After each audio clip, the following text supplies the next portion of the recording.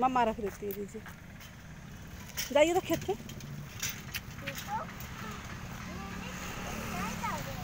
चलिए चलिए।